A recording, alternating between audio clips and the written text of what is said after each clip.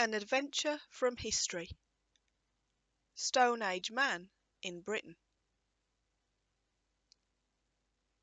Men have lived in Britain for many thousands of years, and long before the Romans came the islands were inhabited by people whom we call Stone Age Men.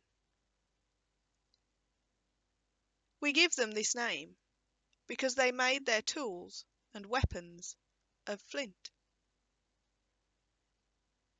This book tells you something of how they lived.